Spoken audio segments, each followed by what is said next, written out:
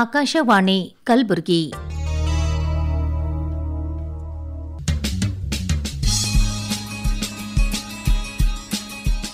ಹೊಸ ಓದು, ಪುಸ್ತಕ ಪರಿಚಯದ ಸಾಪ್ತಾಹಿಕ ಕಾರ್ಯಕ್ರಮ.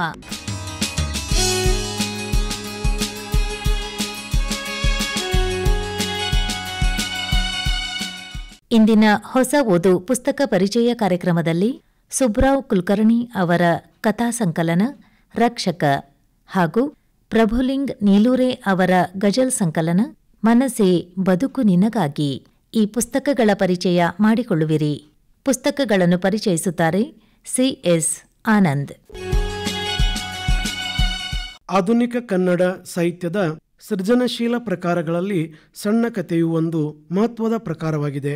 ಕಾವ್ಯದ ಗ್ಲಾಮರ್ ಮತ್ತು ಬ್ಯೂಟಿನೆಸ್ ಈ ಪ್ರಕಾರಕ್ಕಿಲ್ಲವಾದರೂ ಹೆಚ್ಚು ಓದುಗರನ್ನು ಹೊಂದಿರುವ ವಿಶಿಷ್ಟ ಸಾಹಿತ್ಯ ಪ್ರಕಾರ ಇದಾಗಿದೆ. ಕಾದಂಬರಿಗಿಂತ ಸಣ್ಣ ಕತೆ ಓದುಗರ ಸಂಖ್ಯೆಯೇ ಹೆಚ್ಚು. ಇನ್ನು ನಾಟಕ ಪ್ರಕಾರ ಪ್ರದರ್ಶನ ಕಲೆಯಾಗಿದೆ. ಹೀಗಾಗಿ ಕಾವ್ಯ, ಕತೆ, ಕಾದಂಬರಿ, ನಾಟಕ ಈ ಸೃಜನಶೀಲ ಪ್ರಕಾರಗಳಲ್ಲಿ ಸಣ್ಣ ಕತೆ ಜನಪ್ರಿಯತೆಯನ್ನು ಪಡೆದಿದೆ. ಕಲ್ಯಾಣ ಕರ್ನಾಟಕ ಪ್ರದೇಶದಲ್ಲಿ ಸಣ್ಣ ಕತೆಗೆ ಸಂಬಂಧಿಸಿದಂತೆ ಮಹತ್ವದ ಕೃಷಿ ನಡೆದಿದೆ. ಇದೇ ಸಾಲಿನಲ್ಲಿ ತುಂಬ ಪ್ರಮುಖರಾಗಿ ಗುರುತಿಸಿಕೊಂಡವರು ಕಲಬುರಗಿಯ ಶ್ರೀ ಸುಬ್ಬರಾವ್ ಕುಲಕರ್ಣಿಯವರು ಕನ್ನಡದ ಸೃಜನಶೀಲ ಬರಹಗಾರರಲ್ಲಿ ವಿಶೇಷ ಸ್ಥಾನ ಪಡೆದಿರುವ ಸುಬ್ರಾವ್ ಕುಲಕರ್ಣಿಯವರು ನಮ್ಮ ನಾಡಿನ ಹಿರಿಯ ಸೃಜನಶೀಲ ಧ್ವನಿಯಾಗಿದ್ದಾರೆ. ತಮ್ಮ ವಿಶಿಷ್ಟವಾದ ಕಥನ ಶೈಲಿ, ಕಥನ ಕಲೆ ಮತ್ತು ಕಥಾಪ್ರಯೋಗಗಳಿಂದ ಕನ್ನಡ ಕಥಾ ಪ್ರಪಂಚದಲ್ಲಿ ವೈವಿಧ್ಯತೆಯನ್ನು ತಂದು ಶ್ರೀಮಂತಗೊಳಿಸಿದ ಪ್ರತಿಭಾವಂತರು. ಬಹಳಷ್ಟು ನೈಜ ಘಟನೆಗಳನ್ನೇ ಕಥಾವಸ್ತುವಾಗಿ ಮಾಡಿಕೊಂಡು ಸುಂದರ ಮತ್ತು ಸರಳ ಭಾಷೆ ಬಳಕೆಯಿಂದ ತುಂಬ ಸಮರ್ಥ ಮತ್ತು ಅರ್ಥಪೂರ್ಣವಾದ ಕಥೆಗಳನ್ನು ರಚಿಸಿದ್ದಾರೆ. ಪ್ರಸ್ತುತ ಕೃತಿ ರಕ್ಷಕ ಸುಬ್ರಾವ್ ಕುಲಕರ್ಣಿಯವರು ರಚಿಸಿದ ಒಂಬತ್ತನೆಯ ಕಥಾ ಸಂಕಲನವಾಗಿದೆ. ಈ ಕೃತಿಯು ಕಲಬುರಗಿಯ ಬಸವ ಪ್ರಕಾಶನ ಮತ್ತು ಪುಸ್ತಕ ವ್ಯಾಪಾರಿಗಳು ಪ್ರಕಟಿಸಿ ಹೊರತಂದಿದ್ದಾರೆ. ಕಳೆದ ಎರಡು ಸಾವಿರ ಇಪ್ಪತ್ತೊಂದರಲ್ಲಿ ಮುದ್ರಣ ಕಂಡಿರುವ ಈ ಕೃತಿಯಲ್ಲಿ ಒಟ್ಟು ಒಂದೂರ ಮೂವತ್ತೆರಡು ಪುಟಗಳಿದ್ದು ನೂರ ಇಪ್ಪತ್ತು ರೂಪಾಯಿ ಮುಖಬೆಲೆ ಹೊಂದಿದೆ.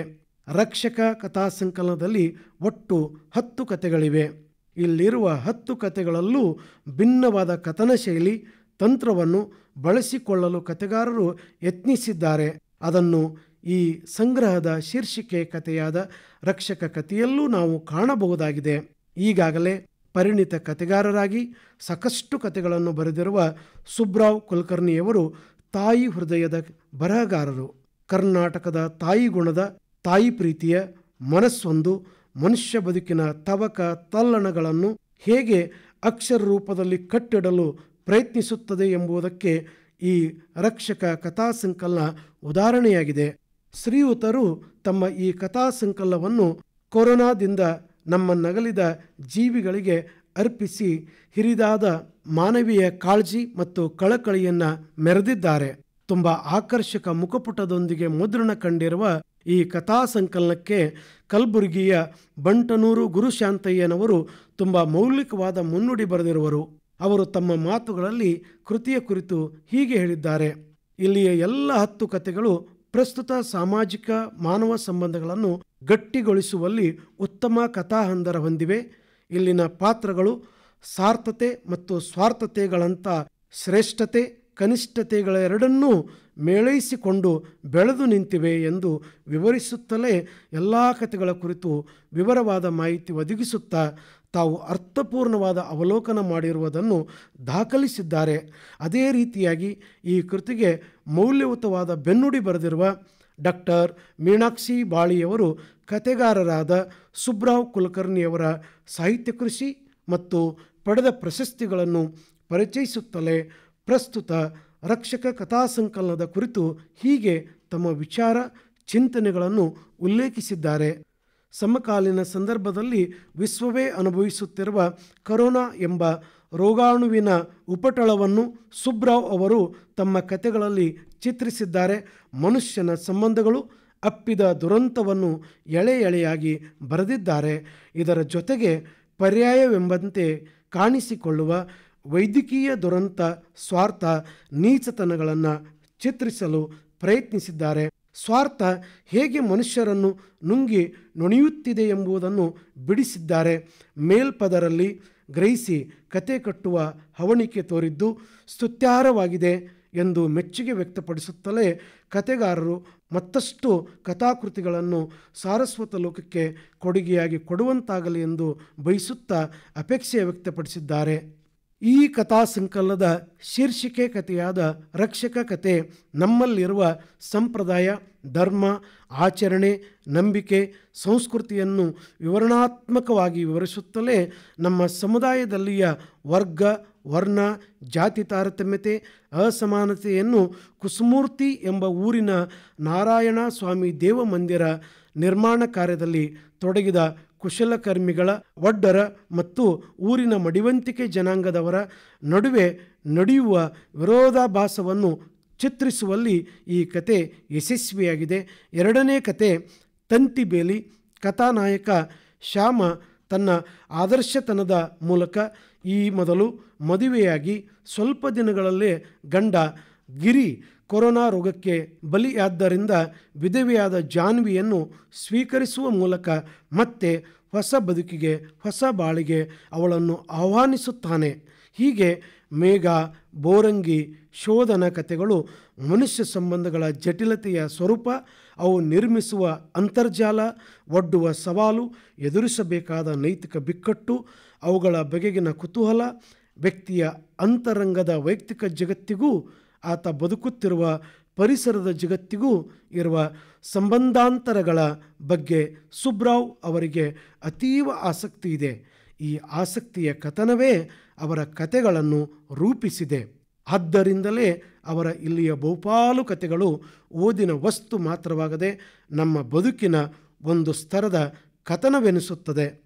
ಹಾಗೆಯೇ ಮುಂದಿನ ಕತೆಗಳಾದ ಎಂಬತ್ತೈದರ ಗಳಿಕೆ, ಚೆನ್ನಪ್ಪನ ಬಂಡಿ ಚಹದ ಅಂಗಡಿ, ಸತ್ತವನನ್ನು ಸಾಯಿಸಿದ ಕತೆಗಳು, ಜನಸಾಮಾನ್ಯರು, ಅವರ ಬದುಕಿನ ಸಹಜ ಸುಖ ದುಃಖಗಳು ಈ ಕತೆಗಳ ಭಿತ್ತಿಯಾಗಿವೆ. ಮನುಷ್ಯ ಸಂಬಂಧಗಳ ಸೂಕ್ಷ್ಮತೆ ಮತ್ತು ಬಾಳಿನ ಆಟದಲ್ಲಿ, ಬಾಳಿನ ಪಯಣದಲ್ಲಿ ಅನಿವಾರ್ಯವಾಗಿ, ಕೆಲವೊಮ್ಮೆ ಸಹಜವಾಗಿ ಎದುರಿಸಬೇಕಾದ ವಾಸ್ತವ ಇಲ್ಲಿನ ಪಾತ್ರಗಳನ್ನು ನಮ್ಯವಾಗಿಸಿವೆ. ಕಥಾವಸ್ತು ಅತ್ಯಂತ ಸಾವಧಾನದಿಂದ ಬಿಚ್ಚಿಕೊಳ್ಳುವ ಕಥಾ ವಿವರ ಪಾತ್ರ ಹಾಗೂ ಪಾತ್ರಗಳು ಆಡುವ ವಿಶಿಷ್ಟ ನುಡಿ ಅನುಭವದ ಮೂಸೆಯಲ್ಲಿ ಕಾದು ಹೊರಬಂದಿರುವುದರಿಂದ ಅವುಗಳಿಗೆ ಉಜ್ವಲ ಹೊಳಪು ದಕ್ಕಿದೆ. ರಕ್ಷಕ ಕಥಾಸಂಕಲ ಓದಿ ಮುಗಿಸಿದಾಗ ನಮ್ಮ ಮನದಲ್ಲಿ ಮೂಡಿ ಬರುವ ಸಹಜ ಅನಿಸಿಕೆ, ಅಭಿಪ್ರಾಯವೆಂದರೆ ಇಲ್ಲಿಯ ಕತೆಗಳು ತೆರೆದು ತೋರುವ ನವಿರುತನ, ಸವರಿದ ಮಧುರ ನೆನಪು ಮತ್ತು ಅದರ ಹಿಂದಿನ ಬದುಕಿಗೆ ಮರುಪಯನ, ಕ್ಷಣ ಬಂಗುರದ ಬದುಕಿನಲ್ಲಿ ಆತಂಕ ಎದುರಿಸುವಾಗಿನ ಗಳಿಗೆ, ಮನುಷ್ಯನಿಗೆ ನಿಸರ್ಗವೇ ಕಲಿಸುವ ಸಹಜ ಪಾಠ, ಹೀಗೆ ವಿಶೇಷತೆಯಿಂದ ಹರಡಿಕೊಂಡಿರುವ ಇಲ್ಲಿಯ ಕತೆಗಳ ವಸ್ತು ವಿಷಯ ನಮಗೆ ತಿಳಿದಿರುವ ಲೋಕದ ಮೂಲಕವೇ ಬದುಕಿನ ಸತ್ಯವನ್ನು ಅರಿಯುವಂತೆ ಮಾಡುತ್ತವೆ. ಶ್ಯಾಮ, ಜಾನ್ವಿ, ಸುಹಾನ್, ಮೇಘ, ವಸುಧಾ, ವಿಶ್ವನಾಥ್, ಅಭಿರಾಮ್, ಸರಸ್ವತಿ, ಅರುಣ್, ಭೂಮಿಕಾ, ಅಭಿ, ವಜಿದಾ, ರುಕ್, ಚಾರು, ಪ್ರಕಾಶ್, ಸುಧಾ, ರಾಹುಲ್, ಶಾಲಿನಿ, ರೂಪಾ, ಶಶಿ, ಚೆನ್ನಪ್ಪ ಮೊದಲಾದ ಪಾತ್ರಗಳು ನಾವು ನೀವೆಲ್ಲ ನಗರ ಮತ್ತು ಗ್ರಾಮ ಭಾರತದಲ್ಲಿ ಕಂಡಂತವೇ ಆಗಿವೆ. ಆದರೆ ಸುಬ್ರಾವ್ ಅವರು ಅವುಗಳನ್ನು ತಮಗೆ ಕಂಡ ಕಾಣಿಕೆಯಲ್ಲಿ ಸೋಸಿ ಇನ್ನೊಂದು ಸಲ ನಮ್ಮೊಂದಿಗೆ ಮುಖಾಮುಖಿಯಾಗಿಸಿದ್ದಾರೆ. ಇಲ್ಲಿನ ಪ್ರತಿ ಕಥೆಯು ತನ್ನದೇ ಒಲವು, ತನ್ನದೇ ಚಲುವಿನಿಂದ ಕಂಗೊಳಿಸುವ ಗುಣ ಹೊಂದಿದೆ. ಕೆಲವು ಕಥೆಗಳಲ್ಲಿ ಸುಬ್ರಾವ್ ಒಂದು ಅಸಾಮಾನ್ಯ ಪಕ್ವತೆಯನ್ನು ಸಾಧಿಸಿದ್ದಾರೆ. ಕತೆ ಹೇಳುವುದು ಸುಬ್ರಾವ್ ಕುಲಕರ್ಣಿಯವರಿಗೆ ಅತಿ ಸಹಜವಾಗಿ ಒಲೆದು ಬಂದಿರುವ ನಿಸರ್ಗದ ಸಹಜ ಕೃಪೆಯಾಗಿದೆ. ಒಟ್ಟಿನಲ್ಲಿ ಸುಬ್ರಾವ್ ಅವರು ಬರೆದಿರುವ ಇಲ್ಲಿಯ ಕಥೆಗಳಲ್ಲಿ ನನ್ನನ್ನು ತಟ್ಟನೆ ಆಕರ್ಷಿಸುವುದು ಅವರು ಕತೆ ಹೇಳುವ ಲವಲವಿಕೆ, ಸರಳ ಭಾಷಾ ಶೈಲಿ, ಶಿಸ್ತಿನ ಪದ ಮತ್ತು ವಾಕ್ಯಗಳ ಬಳಕೆಯಿಂದ ಅವರು ಕಥೆಯನ್ನು ಅತ್ಯುತ್ಸಾಹದಿಂದ ಹೇಳುತ್ತಾ ಹೋಗುತ್ತಾರೆ. ಹಾಗೆಯೇ ಪ್ರತಿ ಕತೆಗೂ ಬೇಕಾದ ಅವಶ್ಯಕ ಪರಿಸರವನ್ನು ಕಟ್ಟಿಕೊಡುತ್ತಾರೆ. ಮುಂದಿನ ದಿನಗಳಲ್ಲಿ ಹಿರಿಯರಾದ ಸುಬ್ರಾವ್ ಕುಲಕರ್ಣಿಯವರು ಮತ್ತಷ್ಟು ಕತೆಗಳನ್ನು ಬರೆಯುವಂತಾಗಲಿ ಕನ್ನಡ ಕಥಾ ಸಾಹಿತ್ಯಕ್ಕೆ ಮತ್ತಷ್ಟು ಮತ್ತಷ್ಟು ವೈವಿಧ್ಯತೆ ಸೃಷ್ಟಿಸುವಂತಾಗಲಿ ಎಂದು ಹಿರಿಯ ಕಥೆಗಾರರಿಗೆ ಅತ್ಯಂತ ಪ್ರೀತಿ ಮತ್ತು ಅಭಿಮಾನದಿಂದ ಗೌರವಪೂರ್ವಕವಾಗಿ ಶುಭ ಕೋರುತ್ತೇನೆ. ಗಜಲ್ ಉರ್ದು ಕಾವ್ಯದ ಅತ್ಯಂತ ಜನಪ್ರಿಯ ರೂಪ. ಗಜಲನ್ನು ಉರ್ದು ಕಾವ್ಯದ ರಾಣಿ ಎಂದು ಕರೆಯುತ್ತಾರೆ. ಉರ್ದು ಕಾವ್ಯದ ಜೀವಾಳವೇ ಗಜಲ್ ಎಂದು ಅನೇಕರು ಹೇಳಿದ್ದಾರೆ. ಗಜಲ್ ಇರಾನ್ ದೇಶದ ಪರ್ಷಿಯನ್ ಭಾಷೆಯಲ್ಲಿ ಕಾವ್ಯ ಪ್ರಕಾರವಾಗಿ ಬೆಳೆದು ನಂತರದಲ್ಲಿ ಉರ್ದು ಭಾಷೆಯ ಕಾವ್ಯ ಪ್ರಕಾರವಾಗಿ ಬೆಳೆಯಿತು. ಗಾಲಿಬ್, ಮೀರ್, ಮೊಹಿನ್, ಹಸರತ್, ಅಸ್ಗರ್, ಮೊಹಾನಿ, ಅಜೀಜ್, ಲಕ್ನವಿ, ಜಿಗರ್ ಈ ಮೊದಲಾದ ಉರ್ದು ಕವಿಗಳು ಮತ್ತು ರೂಮಿ, ಸಾದಿ ಹಾಫೀಸ್ ಕುಸ್ರು ಈ ಮೊದಲಾದ ಪರ್ಸಿಯನ್ ಕವಿಗಳು ಗಜಲ್ ಪ್ರಕಾರದಲ್ಲಿ ಮಹತ್ವದ ಸಾಧನೆ ಮಾಡಿದ್ದಾರೆ. ಕಲ್ಯಾಣ ಕರ್ನಾಟಕ ಪ್ರದೇಶದಲ್ಲಿ ಶಾಂತರಸ್, ಪಂಚಾಕ್ಷರಿ, ಹಿರೇಮಠ್, ಮುಕ್ತಾಯಕ್ಕ, ಜಂಬಣ್ಣ, ಅಮರ್ಚಿಂತ್, ಕಾಶಿನಾಥ್ ಅಂಬಲ್ಗಿ, ಬಸವರಾಜ್ ಸಬರದ್, ಚಿದಾನಂದ್ ಸಾಲಿ, ಅಲ್ಲಾ ಗಿರಿರಾಜ್, ಗಿರೀಶ್ ಜಕಾಪುರೆ, ಮಲ್ಲಿನಾಥ್ ತಳವಾರ್, ಪ್ರೇಮ ಹೂಗಾರ್, ಸಿದ್ದರಾಮ್ ಹೊನ್ಕಲ್ ಸಿ ಎಸ್ ಆನಂದ್, ಜಯದೇವಿ ಗಾಯಕ್ವಾಡ್ ಹೀಗೆ ಈ ಹೆಸರುಗಳ ಪಟ್ಟಿ ಬೆಳೆಯುತ್ತಲೇ ಸಾಗುತ್ತದೆ. ನಾಡಿನ ತುಂಬೆಲ್ಲ ಅನೇಕ ಕವಿಗಳು ಗಜಲ್ ಸಂಕಲನಗಳನ್ನು ಪ್ರಕಟಿಸಿ ಕಾವ್ಯ ಪ್ರಕಾರವನ್ನು ಶ್ರೀಮಂತಗೊಳಿಸಿದ್ದಾರೆ. ಇಂಥ ಅಪರೂಪದ ಕಾವ್ಯ ಪ್ರಕಾರಕ್ಕೆ ಕಲಬುರಗಿಯ ಶ್ರೀ ಪ್ರಭುಲಿಂಗ್ ನಿಲುರೆ ಅವರು ರಚಿಸಿದ ಮನಸೆ ಬದುಕು ನಿನಗಾಗಿ ಎಂಬ ಗಜಲ್ ಕೃತಿ ಸೇರ್ಪಡೆಯಾಗಿದೆ. ಈ ಗಜಲ್ ಕಾವ್ಯ ಕುಸುಮವು ಕಲಬುರಗಿಯ ಬಿಸಿಲುನಾಡು ಪ್ರಕಾಶನದಿಂದ ಎರಡು ಸಾವಿರದ ಇಪ್ಪತ್ತರಲ್ಲಿ ಮುದ್ರಣಗೊಂಡಿದೆ. ಒಟ್ಟು ನೂರ ಆರು ಪುಟಗಳನ್ನು ಒಳಗೊಂಡಿರುವ ಈ ಕೃತಿಯ ಮುಖಬೆಲೆ ತೊಂಬತ್ತು ರೂಪಾಯಿಗಳಿರುತ್ತದೆ. ಕವಿಗಳಾದ ಪ್ರಭುಲಿಂಗ ನಿಲೂರೆ ಅವರು ಈ ಗಜಲ್ ಸಂಕಲನವನ್ನು ತಮ್ಮ ತಾಯಿಯವರಾದ ಶ್ರೀಮತಿ ನೀಲಮ್ಮ ಗಂಗಾರಾಮ್ ನಿಲುರೆ ಅವರಿಗೆ ಅರ್ಪಿಸಿದ್ದಾರೆ. ತುಂಬ ವಿಶಿಷ್ಟ ಹಾಗೂ ವಿಭಿನ್ನವಾದ ಆಕಾರದಲ್ಲಿ ಹೊರಬಂದಿರುವ ಈ ಗಜಲ್ ಸಂಕಲನಕ್ಕೆ ಚಂದ್ರು ಗಂಗೊಳ್ಳಿ ಅವರು ಆಕರ್ಷಕ ಮುಖಪುಟ ರಚಿಸಿದ್ದಾರೆ. ಅದೇ ರೀತಿಯಾಗಿ ಇಲ್ಲಿನ ಪ್ರತಿ ಗಜಲ್ಗಳಿಗೂ ಇವರು ತುಂಬ ಆಕರ್ಷಕವಾದ ಮತ್ತು ಅರ್ಥಪೂರ್ಣವಾದ ರೇಖಾಚಿತ್ರಗಳನ್ನು ಬಿಡಿಸಿದ್ದಾರೆ. ಮನಸ್ಸೆ ಬದುಕು ನಿನಗಾಗಿ ಎಂಬ ಈ ಗಜಲ್ ಕೃತಿಗೆ ತುಂಬ ಅರ್ಥಪೂರ್ಣವಾದ ಮುನ್ನುಡಿಯ ಮಾಲೆಯನ್ನು ನಾಡಿನ ಪ್ರಮುಖ ಗಜಲ್ ರಚನೆಕಾರರಾದ ಪ್ರೇಮ ಹೂಗಾರ್ ಅವರು ತೊಡಿಸಿದ್ದಾರೆ. ಅವರು ತಮ್ಮ ಮುನ್ನುಡಿಯಲ್ಲಿ ಇಲ್ಲಿನ ಗಜಲ್ಗಳನ್ನು ಓದಲು ನಮಗೆ ಶಬ್ದಕೋಶ, ನಿಘಂಟು ಬೇಕಾಗಿಲ್ಲ.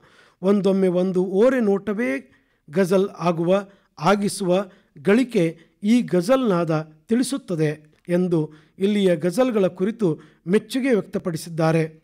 ಕಲಬುರಗಿಯ ಹಿರಿಯ ಸಾಹಿತಿಗಳಾದ ಶ್ರೀಮತಿ ಕಾವ್ಯಶ್ರೀ ಮಾಗಾಂವ್ಕರ್ ಅವರು ಇಲ್ಲಿಯ ಗಜಲ್ಗಳ ಕುರಿತು ಪ್ರಭುವಿನ ಗಜಲ್ ಪ್ರಭೆಯಲ್ಲಿ ಎಂಬ ಶೀರ್ಷಿಕೆಯ ಅಭಿಪ್ರಾಯ ಬರದಲ್ಲಿ ಪ್ರಭುಲಿಂಗ್ ನಿಲುರೆ ಅವರಿಂದ ಆದಷ್ಟು ಹೆಚ್ಚು ಹೆಚ್ಚು ಗಜಲ್ ಸಂಕಲನಗಳು ಬರಲಿ, ಭಾವ ತೀವ್ರತೆಯ ಮನಸ್ಸುಗಳ ಓದಿನ ದಾಹ ತಣಿಯಲೆಂದು ಶುಭ ಹಾರೈಸಿದ್ದಾರೆ. ಕಲಬುರಗಿಯ ಪ್ರಮುಖ ಗಜಲ್ ಕವಿಗಳಾದ ಡಾಕ್ಟರ್ ಮಲ್ಲಿನಾಥ್ ತಳವಾರ್ ಅವರು ಬರೆದ ಗಜಲ್ ಸಾಹಿತ್ಯದ ಹುಟ್ಟು, ಬೆಳವಣಿಗೆ ಮತ್ತು ಅದರ ಲಕ್ಷಣಗಳು, ಪ್ರಕಾರಗಳ ಕುರಿತು ತುಂಬ ವಿಸ್ತಾರವಾದ ಮತ್ತು ಅರ್ಥಪೂರ್ಣವಾದ ಲೇಖನ ಇದೆ.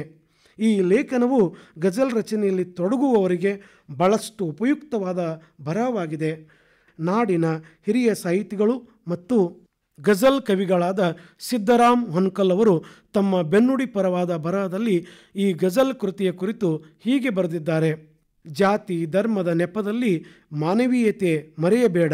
ಕೋಮುದಳ್ಳೂರಿಯಲ್ಲಿ ಬೆಂದ ಜೀವಗಳ ವ್ಯತಿಯನ್ನು ಆಲಿಸು. ಹೀಗೆ ಮಾನವೀಯತೆಯ ಆಶಯದ ಮನುಷ್ಯಪರ, ಜೀವಪರ ಸಾಮಾಜಿಕ ಪ್ರಜ್ಞೆಯನ್ನು ಮೂಡಿಸುವ ಅನುಭವ, ಅನುಭಾವದ ಗಜಲ್ಗಳು ಈ ಸಂಕಲನದಲ್ಲಿದ್ದು ಅವರಿಗೆ ಈ ಗಜಲ್ ನಾದ ಲೋಕಕ್ಕೆ ಸಂತಸ, ಸಂಭ್ರಮ, ಪ್ರೀತಿ, ಪ್ರೇಮದ ನವಿರು ಭಾವದ ಸ್ವಾಗತ ಎಂದು ಗಜಲ್ ಕವಿಗಳಿಗೆ ಗಜಲ್ ಕಾವ್ಯ ಪ್ರಪಂಚಕ್ಕೆ ಸ್ವಾಗತಿಸಿದ್ದಾರೆ. ಪ್ರಸ್ತುತ ಮನಸ್ಸೇ ಬದುಕು ನಿನಗಾಗಿ ಗಜಲ್ ಸಂಕಲನದಲ್ಲಿ ಒಟ್ಟು ನಲವತ್ತು ಸುಂದರ ಗಜಲ್ಗಳಿವೆ. ಇಲ್ಲಿಯ ಗಜಲ್ಗಳಲ್ಲಿ ಪ್ರೀತಿ, ಪ್ರೇಮ, ಜನಪರ, ಜೀವಪರ, ಸಾಮಾಜಿಕ ಚಿಂತನೆಯ ಗಜಲ್ಗಳಿವೆ. ನೆಲಮೂಲಮುಖಿ ಚಿಂತನೆಯ ಈ ಗಜಲ್ಗಳು ನಮ್ಮೊಂದಿಗೆ ಮಾತನಾಡುತ್ತವೆ, ನಮ್ಮ ಎದೆಯನ್ನು ತಟ್ಟುತ್ತವೆ. ಇವುಗಳ ವಸ್ತು ಮತ್ತು ಭಾಷೆಯನ್ನು ನಾವು ನೋಡುವುದಾದರೆ ಕವಿ ಪ್ರಭುಲಿಂಗ್ ನೆಲೂರಿಯವರ ಭಾವನೆ ಮತ್ತು ಬದುಕು ಇಲ್ಲಿ ಬಿಂಬಿತವಾಗಿದೆ. ವಿಶಿಷ್ಟವಾದ ರೂಪಕ, ಉಪಮೆ, ಪ್ರತಿಮೆಗಳಿಂದ ಜನ್ಮ ತಾಳಿದ ಪ್ರಭುಲಿಂಗ್ ಅವರ ಈ ಗಜಲ್ಗಳು ಓದುಗ ಪ್ರಿಯರನ್ನು ತಮ್ಮತ್ತ ಬೇಗ ಸೆಳೆದುಕೊಳ್ಳುತ್ತವೆ. ಈ ಗಜಲ್ ಸಂಕಲನಕ್ಕೆ ಈಗಾಗಲೇ ಗುಲ್ಬರ್ಗ ವಿಶ್ವವಿದ್ಯಾಲಯ ಕೊಡಮಾಡುವ ಎರಡು ಸಾವಿರದ ಇಪ್ಪತ್ತನೇ ಸಾಲಿನ ಕರ್ನಾಟಕ ರಾಜ್ಯೋತ್ಸವ ಪ್ರಶಸ್ತಿ ಮತ್ತು ಕಲಬುರಗಿಯ ಕನ್ನಡ ನಾಡು ಲೇಖಕರ ಮತ್ತು ಸಹಕಾರ ಸಂಘದ ಎರಡು ಸಾವಿರದ ಇಪ್ಪತ್ತನೇ ಸಾಲಿನ ಸಾಹಿತ್ಯ ಪ್ರಶಸ್ತಿ ಲಭಿಸಿವೆ. ಕೇಳುಗ ಪ್ರಿಯರಾದ ತಮಗೆ ಈ ಸಂಕಲನದಲ್ಲಿ ಬದುಕಿನ ಕುರಿತಾದ ಪ್ರೀತಿಯ ಕುರಿತಾದ ಕೆಲವು ಗಜಲ್ಗಳ ಸಾಲುಗಳನ್ನು ಇಲ್ಲಿ ಪ್ರಸ್ತುತಪಡಿಸುತ್ತೇನೆ. ಬದುಕೆಂಬುವುದು ಜಟಕಾ ಬಂಡಿ. ಮುಂದೆ ಸಾಗಲೇಬೇಕು ಸಖಿ. ಕಳೆದು ಹೋದದ್ದು ಪಡೆಯಲು ಛಲ ಇರಲೇಬೇಕು ಸಖಿ. ಅಂದದ ಮೊಗವಿಂದು ಬಾಡಿದ ಸುಮ ನೂರಾರು ಕತೆ ಹೇಳುತ್ತಿದೆ. ವ್ಯತೆ ಮರೆಯಲು ನಿರೀಕ್ಷೆಯಲ್ಲಿ ಕನಸು ಕಾಣಲೇಬೇಕು ಸಖಿ. ಎಷ್ಟು ಮರೆಯಲೆತ್ನಿಸಿದರೂ ಪ್ರೀತಿಗೆ ಸಾವಿಲ್ಲವೇ ಸಾಕಿ. ಎಷ್ಟು ಮರೆಯಲೆತ್ನಿಸಿದರೂ ಪ್ರೀತಿಗೆ ಸಾವಿಲ್ಲವೇ ಸಾಕಿ ಮತ್ತೆ ಮತ್ತೆ ಕಾಣಿಸಿಕೊಂಡು, ಮತ್ತೆ ಮತ್ತೆ ಕಾಣಿಸಿಕೊಂಡು ನೀ ಕಾಡಬಾರದಲ್ಲವೇ ಸಾಕಿ. ಜಗವ ಮೆಚ್ಚಿಸುವ ಬದಲು ಮನ ಮೆಚ್ಚುವಂತೆ ಬದುಕಬೇಕು. ಊರ ಜನ ನೂರು ಮಾತಾಡಿದರೂ, ಊರು ಜನ ನೂರು ಮಾತಾಡಿದರೂ ಸತ್ಯವನ್ನು ಆಲಿಸು. ರಾಜ ಮಹಾರಾಜರು ಕೋಟೆ ಕಟ್ಟಿ ಆಳಿದವರು ಮಣ್ಣಾದರಲ್ಲವೇ ಸಾಕಿ. ದೀಪ ಮುಟ್ಟಿದ ಪತಂಗ, ದೀಪ ಮುಟ್ಟಿದ ಪತಂಗ, ತಾನೇ ಸುಟ್ಟು ಸತ್ತು ಹೋಯಿತಲ್ಲ ಸಾಕಿ. ಗುಬ್ಬಚ್ಚಿಯ ಕಲೆ ನೋಡಿ ಎಲ್ಲರೂ ಕಲಿಯಬೇಕಿದೆ ಸಾಕಿ. ಗುಬ್ಬಚ್ಚಿಯ ಕಲೆ ನೋಡಿ ಎಲ್ಲರೂ ಕಲಿಯಬೇಕಿದೆ ಸಾಕಿ. ಗೂಡು ಕಟ್ಟಿ ಸಂಸಾರ ಮಾಡುವ ಪರಿ, ಗೂಡು ಕಟ್ಟಿ ಸಂಸಾರ ಮಾಡುವ ಪರಿ ಅರಿಯಬೇಕಾಗಿದೆ ಸಾಕಿ. ಮನಸ್ಸೇ ಬದುಕು ನಿನಗಾಗಿ. ಪ್ರಭುಲಿಂಗ್ ನಿಲುರೆ ಅವರ ಜೀವನ ಹೋರಾಟವನ್ನೇ ವೇದಿಕೆಯನ್ನಾಗಿಟ್ಟುಕೊಂಡು ರೂಪುಗೊಂಡ ಗಜಲ್ ಕಾವ್ಯ. ಇದು ಕೇವಲ ಮುಗಿಲ ಮಲ್ಲಿಗೆಯಲ್ಲ, ಇದು ತುಂಬಿ ಹರಿವ ಹಿರುವಳೆಯಲ್ಲ. ಬರೀ ಕಲ್ಪನಾ ವಿಲಾಸವಲ್ಲ ಇದು ಕುಸರಿಯ ಕೆಲಸವಷ್ಟೇ ಅಲ್ಲ, ಶೃಂಗಾರವಲ್ಲ ಬದಲಾಗಿ ಬದುಕಿನ ಪ್ರೀತಿಯ ಸಂಕಷ್ಟಗಳಿಗೆ ಮುಖಾಮುಖಿಯಾದ ಸಂದರ್ಭಗಳ ಸಾಕ್ಷಿ ಪುಟವೂ ಹೌದು. ನಿಸ್ಸಂಶಯವಾಗಿಯೂ ಈ ಗಜಲ್ ಸಂಕಲನ ಪ್ರೀತಿಯ ಮಧುಬಟ್ಟಲು. ಪ್ರಭುಲಿಂಗ್ ನೆಲುರೆ ಅವರು ನಮ್ಮ ನಡುವಿನ ಕನ್ನಡ ಕಾವ್ಯಲೋಕದ ಪ್ರೀತಿಯ ಜೀವ. ಕನ್ನಡ ಸಾಹಿತ್ಯ ಲೋಕದಲ್ಲಿ ಕವಿಯಾಗಿ ಕತೆಗಾರರಾಗಿ ನಾಟಕಕಾರರಾಗಿ, ಅಂಕಣ ಬರಹಗಾರರಾಗಿ, ಪತ್ರಕರ್ತರಾಗಿ ಚಿರಪರಿಚಿತರಾಗಿರುವರು. ಹಾಗೆಯೇ ನಾಡಿನ ಅನೇಕ ಪ್ರಶಸ್ತಿ ಪುರಸ್ಕಾರಗಳಿಗೆ ಪಾತ್ರರಾದವರು. ವೃತ್ತಿಯಿಂದ ಕಲಬುರಗಿಯಲ್ಲಿ ವಿಜಯ ಕರ್ನಾಟಕ ಕನ್ನಡ ದಿನಪತ್ರಿಕೆಯ ಮುಖ್ಯ ಉಪಸಂಪಾದಕರಾಗಿ ಕಾರ್ಯನಿರ್ವಹಿಸುತ್ತಾ ಕನ್ನಡ ಸಾರಸ್ವತ ಲೋಕದಲ್ಲಿ ತಾವೂ ಬೆಳೆದು ಇತರರನ್ನು ಬೆಳೆಸುವ ಭರವಸೆಯ ಗುಣ ಅವರ ಬೊಗಸೆ ತುಂಬ ಇದೆ. ಇಂಥ ಅದಮ್ಯ ಜೀವನ ಪ್ರೀತಿಯ ಕವಿಗಳಾದ ಪ್ರಭುಲಿಂಗ್ ನಿಲುರೆ ಅವರು ಮುಂದಿನ ದಿನಗಳಲ್ಲಿ ಮತ್ತಷ್ಟು ಗಜಲ್ ಸಂಕಲನಗಳನ್ನು ಸಾಹಿತ್ಯ ಲೋಕಕ್ಕೆ ಅರ್ಪಿಸಲಿ. ಗಜಲ್ ಕಾವ್ಯ ಪ್ರಕಾರವನ್ನು ಮತ್ತಷ್ಟು ಶ್ರೀಮಂತಗೊಳಿಸಲಿ ಎಂದು ಪ್ರೀತಿಪೂರ್ವಕವಾಗಿ ಅವರಿಗೆ ನಾನು ಶುಭ ಕೋರುತ್ತೇನೆ. ಇದುವರೆಗೆ ಹೊಸ ಓದು ಪುಸ್ತಕ ಪರಿಚಯ ಕಾರ್ಯಕ್ರಮದಲ್ಲಿ ಸುಬ್ರಾವ್ ಕುಲಕರ್ಣಿ ಅವರ ಕಥಾ ಸಂಕಲನ, ರಕ್ಷಕ ಹಾಗೂ ಪ್ರಭುಲಿಂಗ್ ನೀಲೂರೆ ಅವರ ಗಜಲ್ ಸಂಕಲನ, ಮನಸೆ ಬದುಕು ನಿನಗಾಗಿ. ಈ ಪುಸ್ತಕಗಳ ಪರಿಚಯ ಮಾಡಿಕೊಂಡಿರಿ. ಪುಸ್ತಕಗಳನ್ನು ಪರಿಚಯಿಸಿದವರು ಸಿಎಸ್ ಆನಂದ್.